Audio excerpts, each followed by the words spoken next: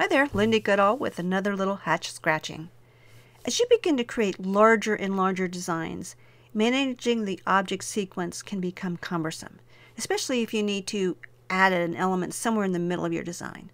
I often find that I may have to add a travel run here and there to eliminate an unnecessary trim after I get done with the design, and usually it's somewhere in the middle of the design. Hatch doesn't offer the ability to, say, select an object and then do paste in front or paste behind, a feature that I use in other programs. And also the objects in the resequence bar aren't numbered. So it's hard to find that's the object that I want to paste in front of because there's no indication. I would have to recognize it by shape or maybe position. So to make the techniques I'm going to demonstrate in this video easier to follow, we're just going to work with a simple Valentine's Day design.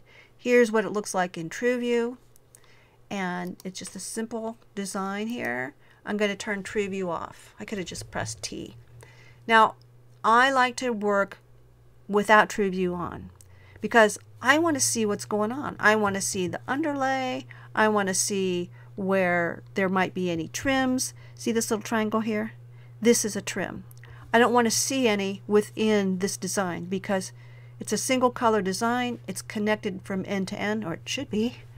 And I don't want it to stop and trim where it's not needed. Let's cover the basics of moving elements on the resequence bar, just in case you're brand new. And probably the most common way is to just click one and drag it. So you can just drag it up, you can drag it down, you can drag it way down. I'm going to do Control Z, get it back. And normally when I'm doing a drag type of thing like that, I will only do it within a viewable area. I don't want to have to drag for multiple screen worth. Now, this one doesn't have a lot of objects, so if we just start at the top and I just click on the scroll bar here, three clicks will get me to the bottom. So this is not a really long design. So it might not be so hard to get something moved to the middle. Now I can also do things like take that first object, move it all the way to the bottom. I can move it all the way back to the top. I can move it down and I can move it up by clicking the single arrow. So this, these move it up or down one slot at a time and these will move it all the way to the bottom. So hopefully I got it back in the right spot. So what if you need to add something near the middle? That's where things get tricky. So let's kind of move down to the middle and we'll find a good place to do something. How about this one? So let's say that I've digitized this object and um, I've done these little guys and I didn't do this one. So I'm just going to do Control X.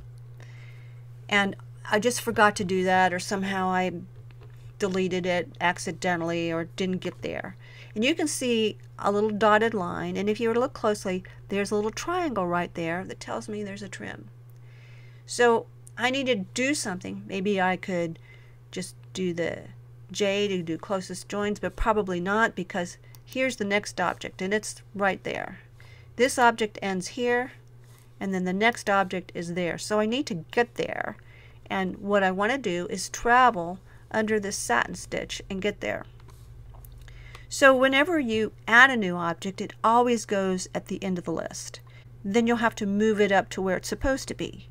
So one trick I like is I will take this object and I'll just hide it. Hide selected. And then we'll paste, pretend I digitized that, and there it is at the end.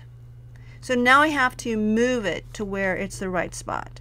So I'm going to drag, and I'm going to drag some more, and I'm going to drag some more and see I can see that shaded one that means it's hidden and I can just put that object right there. And when I turn this back on and hide all there is my design and it's all in the proper sequence. Now if this was a really long design and I had to scroll multiple multiple times it would get pretty tedious. So there's another way I like to move things and this involves a little creative work here. So we're going to take this object and we're going to color it blue. Because once again I know that's where I need to put my object and I'm going to control X again and control V and that pasted at the end. So I've redigitized my object. Let's just pretend here. And I'm going to change that to a different color. We'll make it say green. And okay so what's with the color thing? Wow if you go over here click the colors tab you can see I have red blue that's that object red that's the rest of my design and there's my new piece and guess all what I have to do I just do that and now it's in the right order I'll hold down the control key, select that other color swatch, click on my color bar, get them all back to red. There's my design. Now wasn't that much faster than scrolling? Now, yes, this is a single color design, so it was real easy to see what I was doing, but I do that in multicolor designs. I do that, I did that in this design.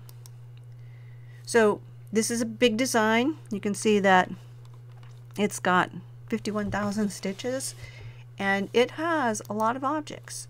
So, you know, I'll be clicking away, dragging a long time if I have to move something up to the middle. But if I use the Colors tab, then all I have to do is put in some weird funky color. Maybe I need to make that, you know, I don't know, purple. Then I know where that object starts and I can move or something before or after it. So undo that. And there you have it. These are some tricks for managing object order on the resequence bar that I've figured out, and I'm sharing them with you and hope you found them useful. Thanks for watching, and please like, comment, and subscribe, and come back again. Thanks.